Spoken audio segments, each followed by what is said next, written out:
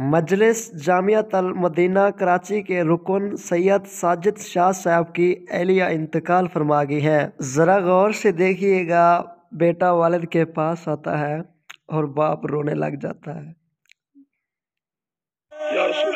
सैयद साजिद शाह साहब गमजदा है।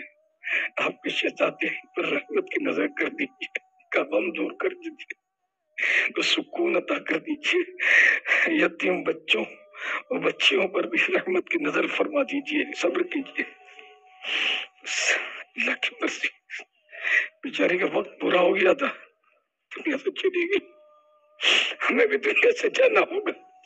या अल्लाह पाक, मेरी मदनी बेटी, कब्र की पहली रात है, करम करते। बेचारी पर करम करते।